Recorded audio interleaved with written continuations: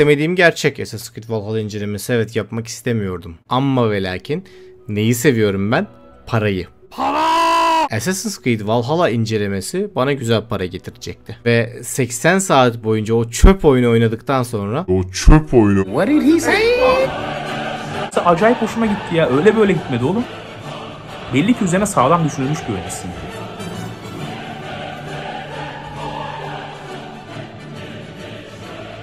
Assassin's Creed Valhalla'da geçirdiğim saatleri keyifle geçirdim.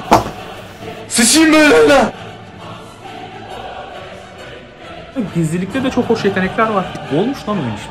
Bayağı güzel bir Ubisoft oyunu olmuş. Assassin's Creed Valhalla ile alakalı görüşlerim gayet olumlu yönde. Rockstar daha iyisini yapana kadar en iyisi bu.